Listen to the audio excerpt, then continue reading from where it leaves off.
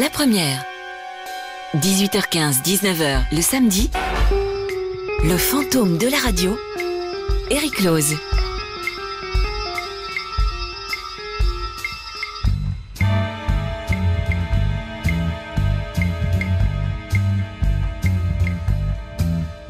Bonsoir. C'est bien le fantôme de la radio qui vous parle. Cela fait des lustres que je fréquente ces lieux chargés de son et de lumière. Cette grande maison, comme on l'appelle encore quelquefois, je la connais comme ma poche.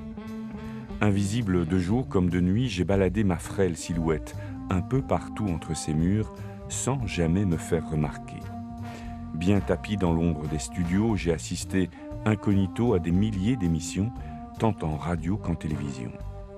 Je vous demanderai donc de rester discret à propos de ma présence ici, car, à part vous, chers auditeurs, personne ne sait qu'un fantôme hante ces lieux et observe tout ce qui s'y passe.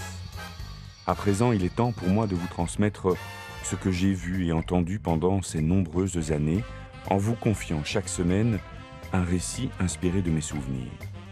Alors si vous avez encore un doute quant à mon existence, je vous conseille de rester bien à l'écoute Seul un esprit qui a traversé les âges peut vous raconter des histoires comme celles que vous allez entendre ce soir.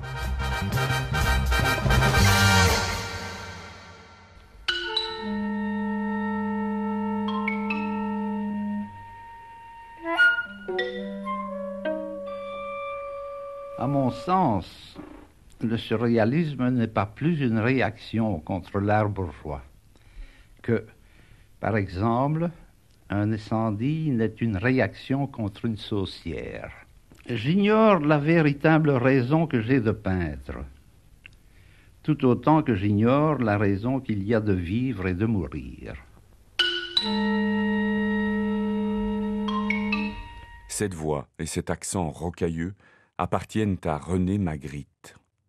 Le 2 mars dernier, un de ses tableaux, extrait de la série L'Empire des Lumières, a été vendu à Londres pour la somme colossale de 71 millions d'euros. Un record pour l'artiste belge qui, de son vivant, se disait guère intéressé par les prix extravagants qu'atteignait déjà ses toiles. Il paraît que certains tableaux se vendent un million. Il paraît. Vous êtes heureux de cela? Non, ça m'est tout à fait indifférent. Cet événement qui a agité le marché de l'art me donne l'occasion d'évoquer, à l'aide de nombreux documents sonores, quelques fragments de la vie de Magritte, aujourd'hui connue et reconnue dans le monde entier. Vous entendrez René Magritte s'exprimer sur son travail et son parcours artistique. La parole sera également donnée à son épouse, Georgette, à Louis Kutner, l'un de ses plus fidèles compagnons de route, ainsi qu'à Salvador Dali, qui admirait beaucoup le peintre surréaliste dont il fut un proche dans les années 20.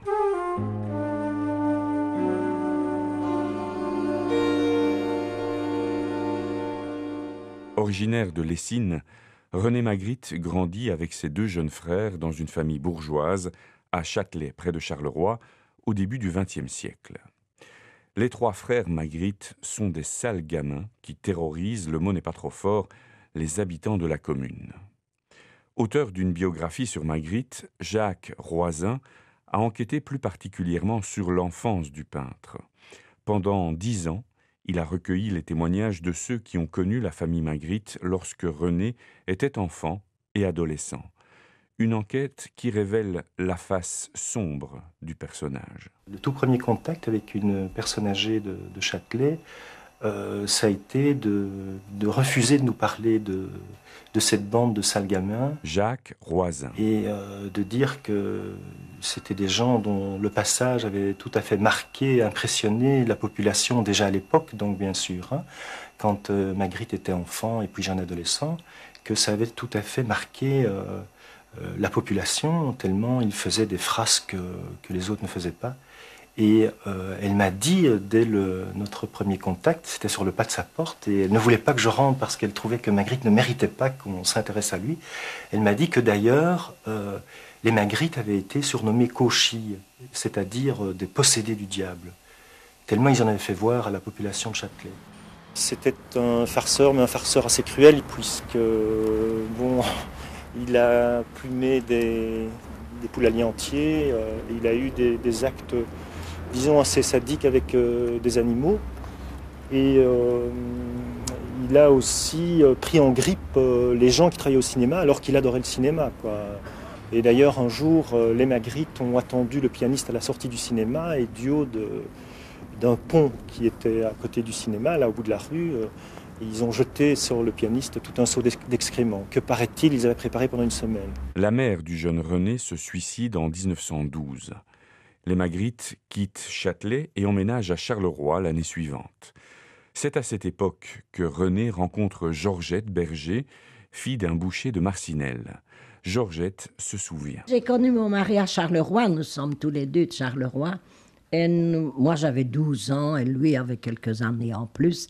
Et nous nous sommes rencontrés pour la première fois à la foire de Charleroi. Georgette Magritte. Mais alors est arrivée la, la guerre de 14-18. Nous avons. Louis est venu à Bruxelles, moi je suis restée à Charleroi. On s'est donc perdu de vue.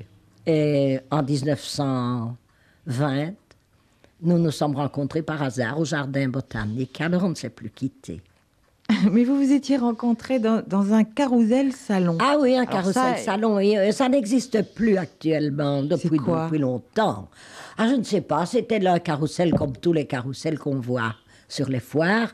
Mais il était sous un chapiteau. Il y avait une, des grandes tentes, euh, comme dans un cirque, enfin. Alors c'était très pratique quand il pleuvait, on pouvait se promener là-dedans et on pouvait faire des tours de moulin comme on voulait, bien entendu, en payant.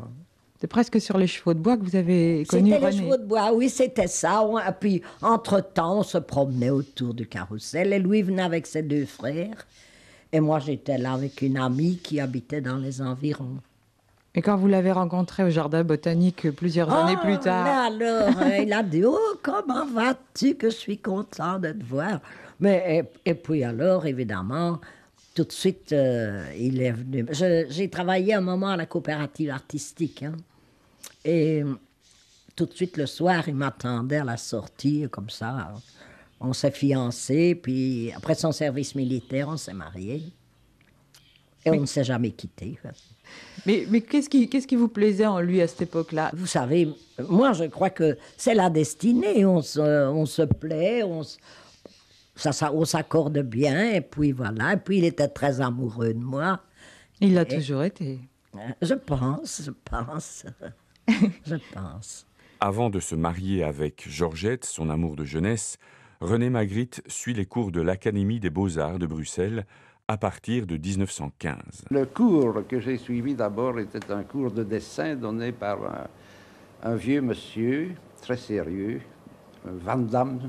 Je ne sais pas si on se souvient de ce nom. René Magritte. Et là, j'ai appris à, à dessiner, ce qui me paraît extrêmement important pour un peintre. Apprendre à dessiner est absolument indispensable, autant que pour un écrivain apprendre la grammaire, par exemple. Est-ce que c'était un enseignement de qualité? Ah oui, c'était un enseignement très sérieux, où il ne s'agissait que d'apprendre à dessiner. Alors, avec euh, ce cours-là, il y avait ceux de littérature donné par Écotte, et puis euh, les cours d'anatomie, de, perspective, enfin tout ce qu'un peintre doit un peu connaître. Nous sommes en 1921. René Magritte, désormais marié, travaille comme dessinateur dans une fabrique de papier peint à Arennes. En marge de cette activité professionnelle purement alimentaire, Magritte peint de plus en plus, marqué par des influences venues notamment d'Italie. Je crois que Pierre Bourgeois vous a montré un jour des œuvres futuristes qui vous ont marqué très fort. Oui, en effet, c'était après mes cours de l'académie que j'ai rencontré Pierre Bourgeois et il m'a montré un, des tableaux de des reproductions de peintures futuristes qui, qui étaient pour moi tout à fait inconnues et ça m'a fait énormément d'impression. Un autre choc, vous le devez, je crois, à cet étonnant personnage qu'est Marcel Lecomte, Marcel Lecomte est venu un jour vous montrer une œuvre de, de non? Ah oui, là, vraiment, la rencontre a été plus grande et plus importante qu'avec les futuristes, parce que les futuristes s'occupaient en somme de rechercher une manière originale de peindre, alors que Chirico ne s'inquiétait pas d'une manière de peindre, mais de ce qu'il faut peindre, ce qui est très différent. C'était le chant d'amour, ce fameux. C'était le chant d'amour, en effet, un très beau tableau. Euh, vraiment, Chirico vous a inspiré à ce moment-là à, tourner une sorte de commutateur et à déclencher quelque chose. Oui, il y a eu une rencontre euh, exceptionnelle. Et alors, je crois que vous vous êtes mis à peindre à tour de bras à ce moment-là. Ah, j'ai peint, oui, mais je ne pouvais pas peindre comme Chirico, ou Kiriko plutôt. Je cherchais quelque chose à peindre n'est-ce pas, à l'exemple de Chirico, mais il ne fallait pas peindre ce que Chirico peignait. Magritte prend goût pour la provocation. Avec son ami Édouard Messens, qu'il a rencontré lors de son service militaire, il participe à des actions pas très éloignées des mauvais tours qu'il jouait aux habitants de Châtelet quand il était enfant. C'est le point de départ d'un mouvement subversif qui va aboutir à la naissance du groupe surréaliste en Belgique. Christian Bussy, auteur d'une anthologie sur le surréalisme belge, raconte. Au départ, il y avait, si vous voulez, Magritte et Mezens, euh, qui faisaient des attitudes, euh, qui avaient des, attitudes provocatrices aussi, mais dans l'esprit dada plutôt. Christian Bussy. Euh, avec Pierre Bourgeois, ils allaient dans des endroits publics et ils se conduisaient mal pour faire exploser la soirée qui avait lieu, que ce soit à l'opéra ou ailleurs. C'était au fond une attitude anti-art. Anti-art, oui. Mais gratuite, enfin, sans, sans théorie, sans, sans, une base théorique mhm. que nous j'ai apportée par la suite. À un moment, Mezens a voulu euh, créer une sorte de, de revue qui s'appellerait Période. Et il euh, a sorti un tract sur lequel figuraient les noms de Marcel Lecomte, de Camille Goumans, de Mezens et de Magritte. Paul Nouget, qui était seul à ce moment-là, de son côté, a saisi l'occasion de ce tract pour faire un contre-tract de cette même revue période pour débaucher Camille Goumans, Marcel Lecomte à son profit. Et à ce moment-là, avec donc Nouget, Goumans et Lecomte, ils ont formé ce qu'on appelle le groupe Correspondance. Paul Nouget, Marcel Lecomte et Camille Goumans du groupe Correspondance sont finalement rejoints par René Magritte, Édouard Messens, André Souris et Louis Kutner. Écrivains, poètes, plasticiens, musiciens, ensemble, ils forment le premier groupe surréaliste belge en 1926. Écoutez les explications de René Magritte. Qu'est-ce que c'était que cette société, que ce groupe assez étonnant. Mais nous étions quelques amis. Il y avait Mezens, Paul Nouget, Lecomte, Souris, Skutner, et nous pensions de même, enfin, relativement à la société, à la grande société. Nous pouvions paraître un peu secrets et on pourrait nous appeler des, amis du mystère. Vous vous épauliez en quelque sorte devant l'adversité Ce n'est pas s'épauler, mais se comprendre. Nous nous comprenions et nous recherchions tous, enfin, ce qu'on pouvait dire qui soit inconnu encore. Est-ce que vous compreniez par exemple avec les, surréalistes de Paris, avec le groupe de Paris Quelles étaient vos relations? Mais elles étaient nécessairement très bonnes puisque nous avions les mêmes préoccupations qu'eux. Seulement, étant donné leur, euh, le nombre, leur nombre, ils pouvaient faire d'autres manifestations que nous. Ils avaient d'autres moyens que nous pour euh, implanter cette idée euh, du surréalisme. Les idées étaient semblables? Oui, dans l'ensemble. Le caractère était peut-être différent. Seulement, eux aimaient assez la provocation pour elle-même. C'est en cela qu'il y a peut-être une qui aurait une différence. Après sa première exposition à la galerie Le Centaure à Bruxelles en 1927, René Magritte s'installe près de Paris, à Perreux-sur-Marne, avec Georgette. Il se rapproche des surréalistes français, André Breton en tête. Il refuse toutefois de vivre au cœur de la capitale française. Les explications de Didier Ottinger, conservateur du Musée national d'art moderne de Paris en 1999. Si Magritte euh, est venu au Perreux-sur-Marne et pas à Paris, c'est qu'à Paris, on ne lui proposait pour résider que des ateliers d'artistes. Il avait la possibilité, il avait les contacts suffisants pour trouver un atelier d'artiste à Paris.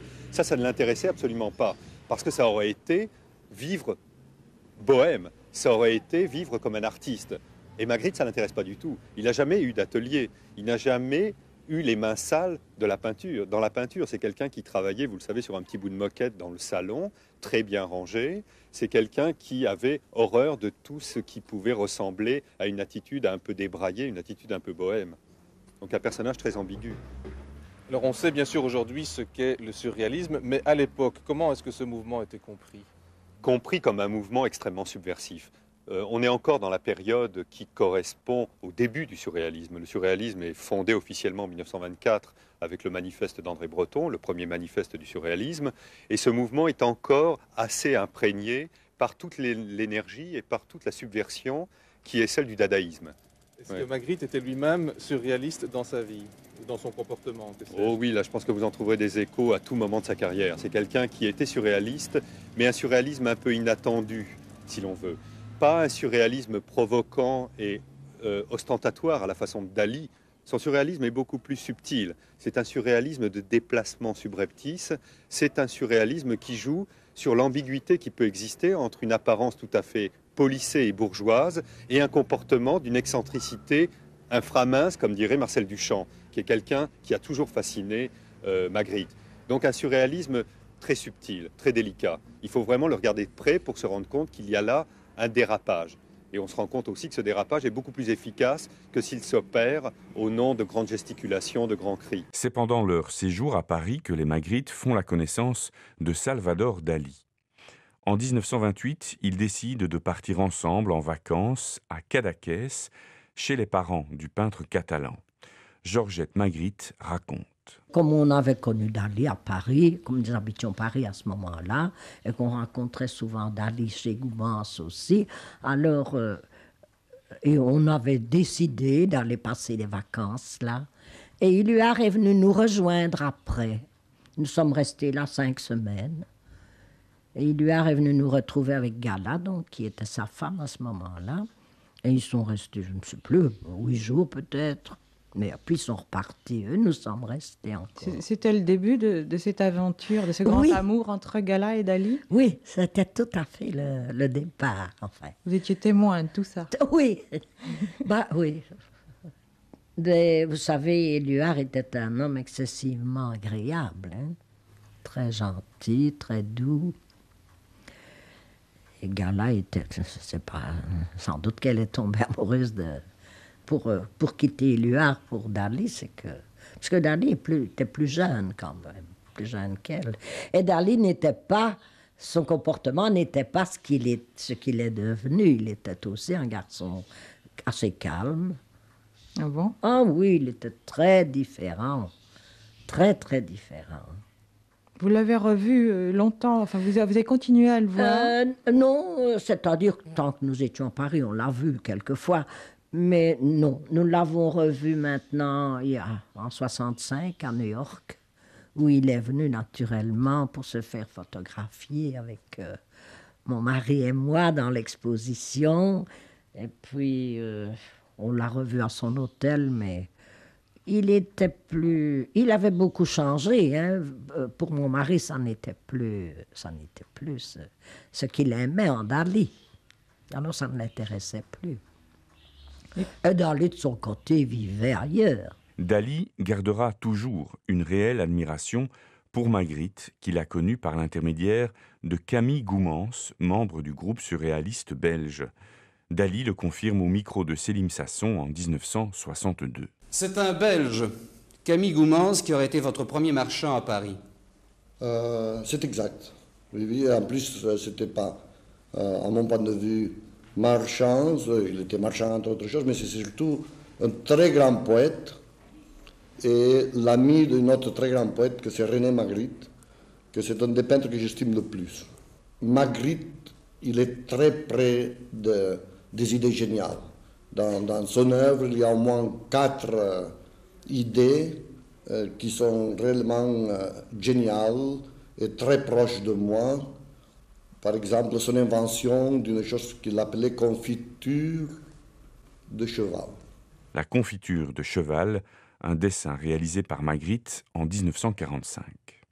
Mais revenons à Paris à la fin des années 20.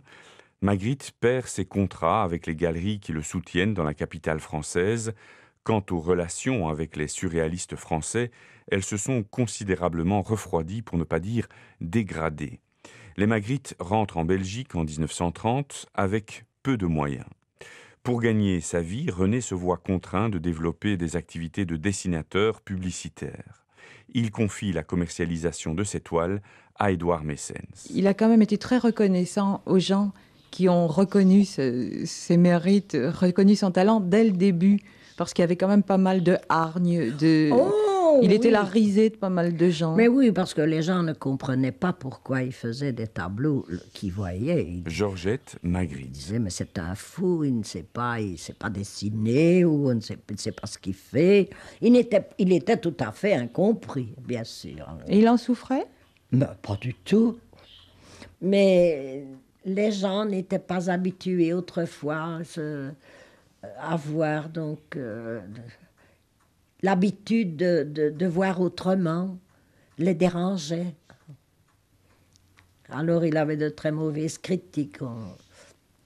On, ne comprenait pas. Mais ça ne le gênait pas. Hein. Il a toujours continué dans sa même ligne pendant toute sa vie. Et il riait quand, euh, lui, quand il lisait une critique euh, qui n'était pas bonne, ben, il laissait. À cette époque, Magritte poursuit ses recherches artistiques sur le décalage entre l'objet et sa représentation. Avec sa peinture, il entend interroger les mots dans leur fonction d'identification et d'interprétation.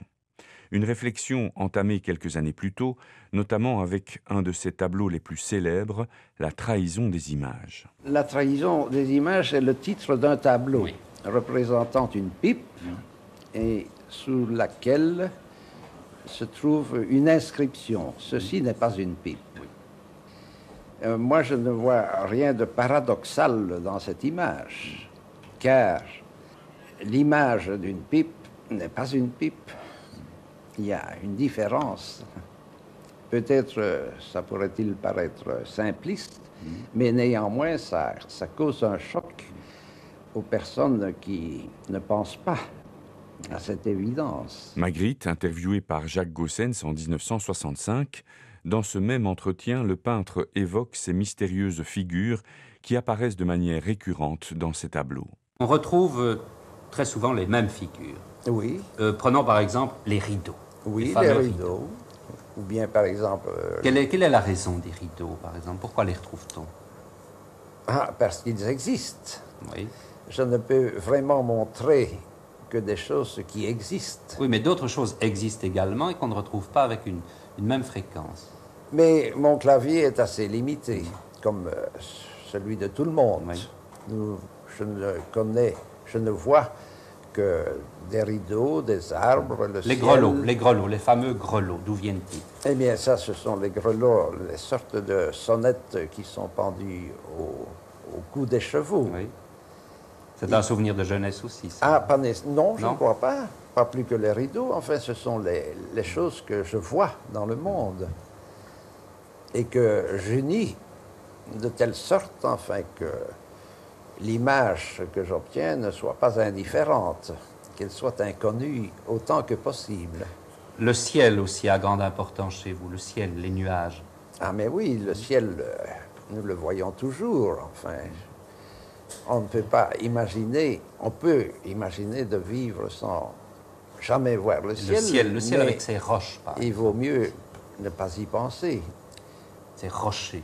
Eh bien oui, la pierre est aussi un être, à un être qui, qui a de l'importance pour moi. Une importance particulière?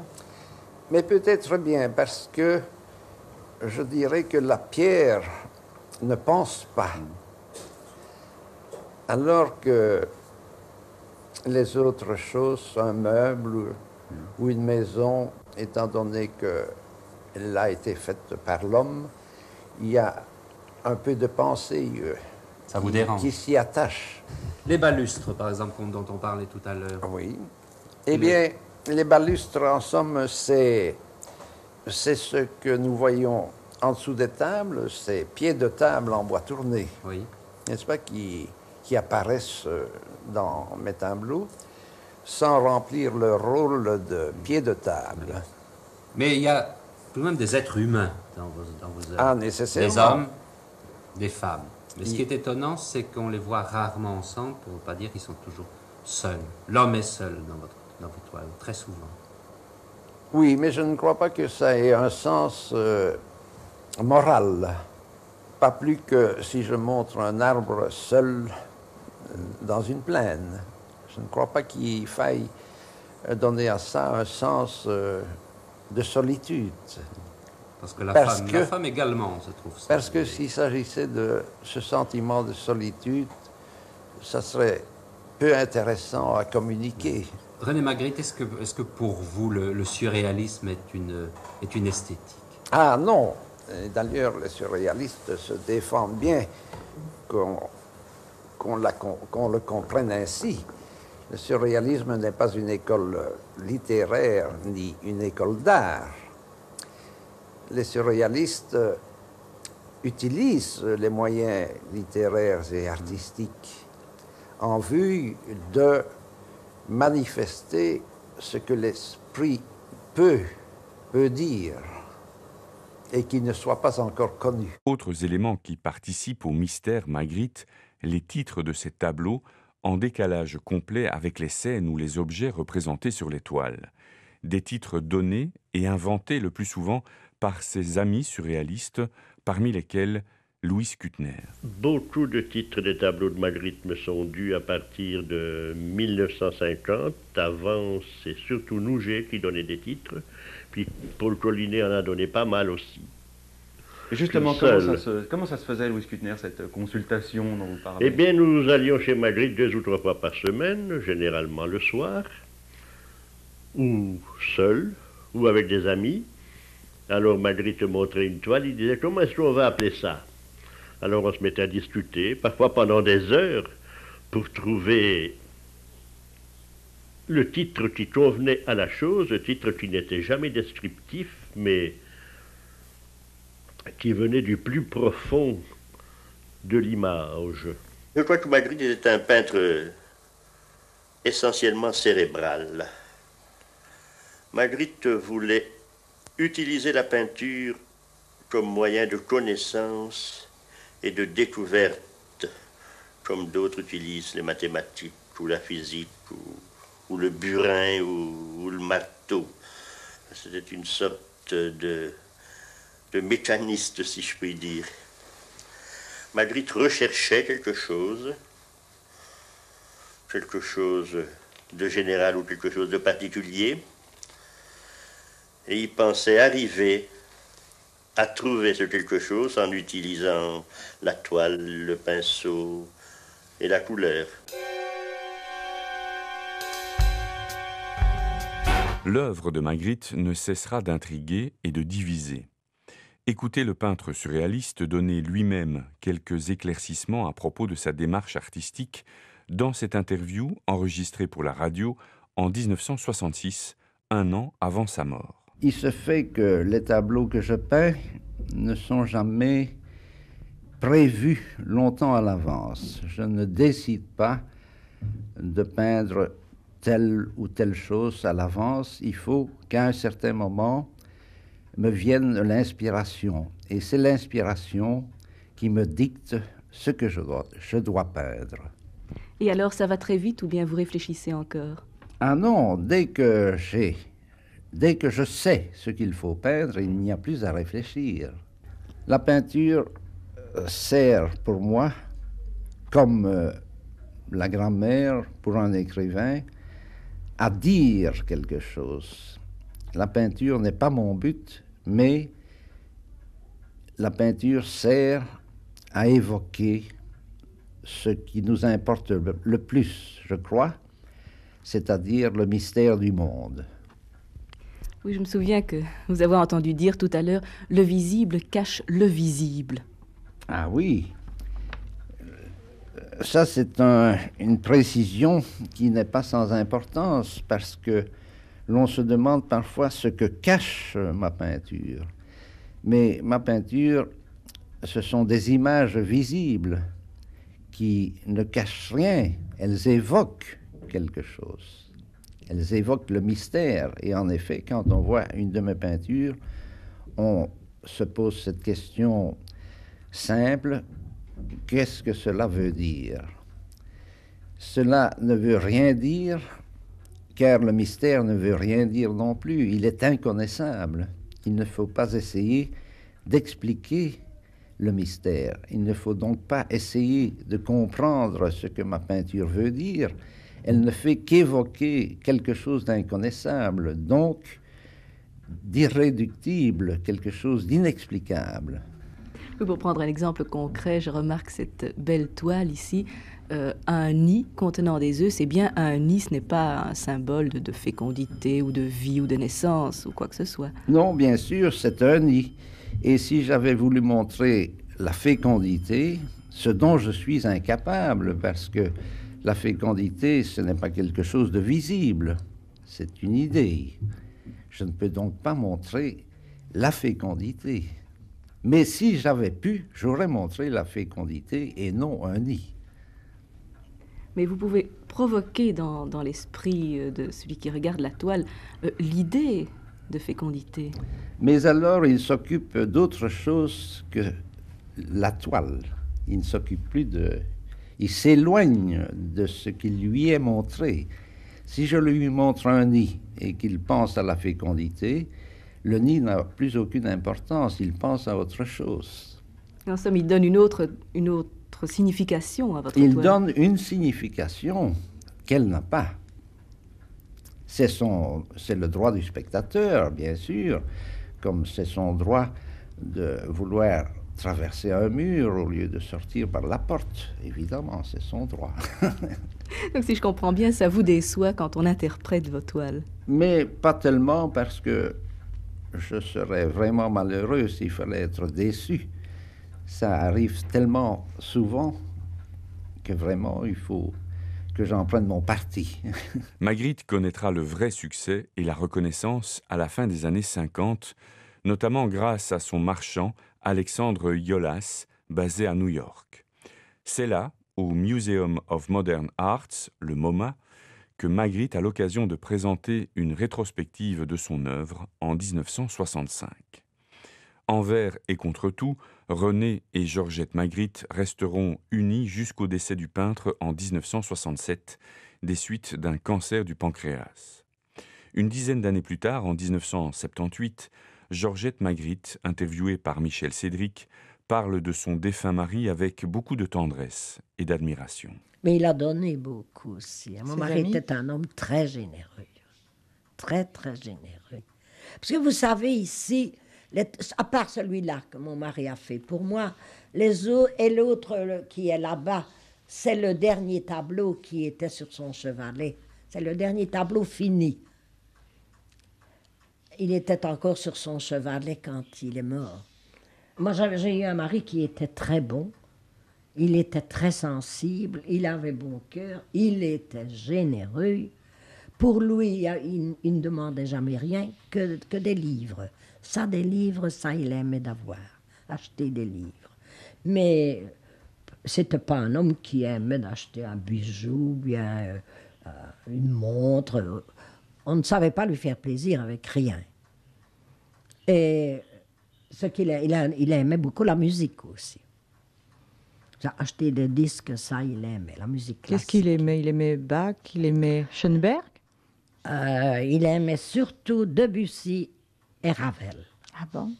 Mais vous parliez de votre mari, vous, vous parliez de toutes ses qualités, il en avait énormément, mais est-ce qu'il n'était pas un petit peu pessimiste, un petit peu négativiste Je vous dis qu'il était d'une nature pessimiste et, et inquiète. Mais il avait ses bons côtés aussi, bien entendu. il ne démolissait pas tout ce qu'il voyait, au contraire. Il avait beaucoup de choses qu'il aimait. L'argent ne l'intéressait pas d'ailleurs. Il savait, bien qu'il en fallait pour vivre, bien sûr, mais ça ne l'intéressait pas du tout, ni, ni la valeur que ce tableau pourrait avoir dans 100 ans, ça ne l'intéressait pas. Non, non, c'était pas un homme intéressé, c'était tout le contraire. Vous parliez tout à l'heure de Iolas Iolas, oui, c'était son marchand. Oui, et je crois qu'il n'y avait pas de contrat qu'il avait signé, il n'y avait aucun contrat signé entre eux, mais à un moment, déjà vers les années 59, il y a plusieurs marchands très importants qui avaient envie de, qui voulaient lui faire des, ponts d'or pour ses toiles, et jamais il n'a accepté parce qu'il a dit, oh non, je lui donnais ma parole à Ah oui, il était très honnête. Hein. Ah oui, il était très honnête. Quand il disait quelque chose, eh bien, il gardait ça, il, il avait promis quelque chose, il n'avait pas eu de contrat écrit, bien sûr, mais il tenait tout de même à continuer avec Yolas, qui avait toujours été. Euh, euh, qui avait toujours bien défendu sa peinture. Alors, seulement un jour, elle a quand même dit à Yolas, moi, je dois tout de même garder quelques tableaux ici parce que j'aime tout de même qu'il y ait quelques tableaux en Belgique, parce qu'il avait des, des, des, gens ici qui lui demandaient pour acheter un tableau. Mais Yolas voulait tout, lui. On a voulu en faire un baron de votre mari. oui, oui. Enfin, on lui avait demandé, oui, on a fait. Mais ça l'a amusé. il a refusé, il a refusé. Il a dit, je veux bien comme un homme compte. Oui, mais attention, il a dit ça pour se moquer. mais baron, ça ne m'intéresse pas. Il ne voulait pas, il ne voulait pas des honneurs. C'est formidable parce que quand on revoit, on parle d'une exposition, on sait toujours que Georgette était près de René, toujours, toujours à côté de lui. Ah ça, je ben, trouve formidable. Écoutez, nous avons vécu 45 ans ensemble. Hein. Alors, vous pensez, ça peut compter quand même. Mon mari n'est plus là. C'est comme s'il était parti en voyage, par exemple, parce que il vit vraiment encore dans la maison. Hein. Son esprit est toujours ici. Ah oui, d'un côté, oui. Mais vous savez, c'est quelquefois triste aussi. Hein. C'est quelquefois triste parce que euh, je sens combien il manque aussi. Hein. Moi, je vis encore avec lui, si vous voulez. Et ça, c'est quand même important. Parce que ça m'aide aussi à, à continuer à vivre comme je vivais autrefois.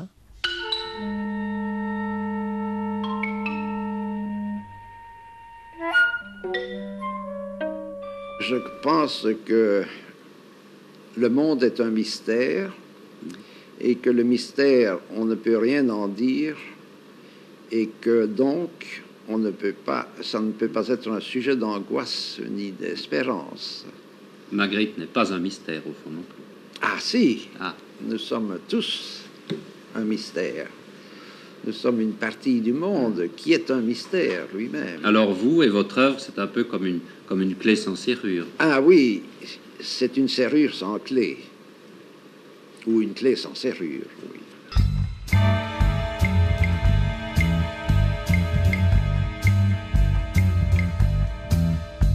Vous écoutiez Le Fantôme de la radio, une émission écrite et réalisée par Eric Lose avec le précieux concours de la Sonuma l'entreprise qui sauvegarde les archives audiovisuelles de la RTBF.